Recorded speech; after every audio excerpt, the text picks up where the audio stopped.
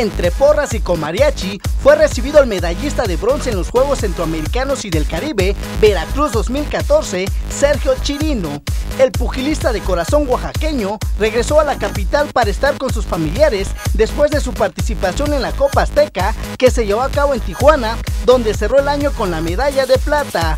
En entrevista colectiva, Sergio Chirino destacó que los logros obtenidos son el fruto del trabajo que realiza día a día y señaló que buscará a toda costa obtener su pase a los Juegos Panamericanos de Toronto, Canadá, para pelear por la presea dorada. Estoy muy contento porque gracias al apoyo de la gente logramos esta medalla.